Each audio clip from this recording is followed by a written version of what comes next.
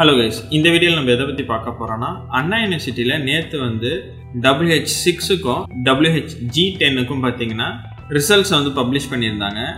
அதில் நிறையா ஸ்டூடெண்ட்ஸ்க்கு வந்து பார்த்தீங்கன்னா ரிசல்ட்ஸ் வந்துருச்சு. சில ஸ்டூடெண்ட்ஸ்க்கு வந்து பார்த்தீங்கன்னா ரிசல்ட்ஸ் வரல.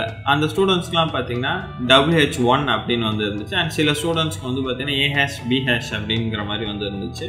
சரி ஓகே அதெல்லாம் என்னங்கிறத இந்த வீடியோவில் பார்க்க போகிறோம் டபிள்யூஹெச்ஜி டென் என்ன நான் இதுக்கு முன்னாடியே சொல்லியிருந்தேன். உங்களோட ரிசல்ட் வந்து இன் ப்ராக்ரஸில் இருக்குது அந்த ப்ராசஸ் முடிஞ்சதுக்கப்புறமா உங்களோட ரிசல்ட்ஸ் வந்து ரிலீஸ் பண்ணிடுவாங்க.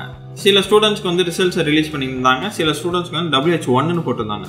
ஸோ டபிள்யூஹெச் ஒன்றுனா நீங்கள் வந்து மால் ப்ராக்டிஸ்க்கு வந்து சஸ்பெக்ட் ஆகிருக்கீங்க ஸோ உங்களோட எக்ஸாம்ஸை வந்து அவங்க ரிவ்யூ பண்ணிவிட்டு அதில் எந்த மால் ப்ராக்டிஸ் ஆக்டிவிட்டியும் இல்லைங்கிறத கன்ஃபார்ம் பண்ணிட்டாங்கன்னா உங்களோட ரிசல்ட்ஸை வந்து பப்ளிஷ் பண்ணிடுவாங்க. இல்லை அவங்கக்கிட்ட ப்ரூஃப் இருந்துச்சுன்னா உங்களை வந்து மால் ப்ராக்டிஸ்க்கு புக் பண்ணிவிடுவாங்க ஸோ ஸ்டூடெண்ட்ஸ் யாரும் டபிள்யூஹெச் ஒன்றுன்னு மாறிட்டனால மால் ப்ராக்டிஸ் புக் பண்ணிட்டாங்களோன்னு நினச்சிட்டு பயப்படாதீங்க. உங்களுக்கான ரிசல்ட்ஸ் வந்து இன்னும் ஒன் ஆர் டூ வீக்ஸில் வந்துடும் அண்ட் ஸ்டூடெண்ட்ஸ் நிறையா பேர் கீழே ஏதோ நோட்டுன்னு கொடுத்துருக்காங்களே அது என்னன்னு புரியலை அப்படின்னு சொல்லி சொல்லியிருந்தாங்க. அதாவது எக்ஸாம் அப்போ சில ஸ்டூடெண்ட்ஸ் வந்து ஸ்க்ரீன் ஷேரிங் பண்ணாமல் விட்டுட்டாங்க.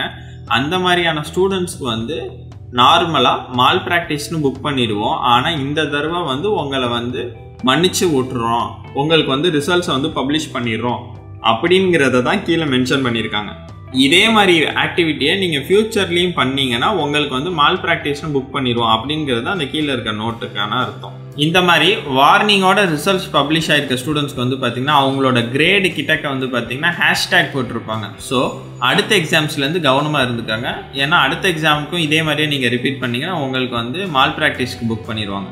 அண்ட் மீதி மற்ற ஸ்டூடெண்ட்ஸ் எல்லாம் எங்களுக்கு எப்போ ரிசல்ட்ஸ் வரும்னு கேட்டுருந்தாங்க உங்களுக்கு வந்து சீக்கிரமாக ஒன் ஆர் டூ வீக்ஸில் வந்துரும்னு எதிர்பார்க்கலாம். இந்த இன்ஃபர்மேஷன் உங்களுக்கு யூஸ்ஃபுல்லாக இருந்துச்சு நம்புகிறேன் தேங்க்யூ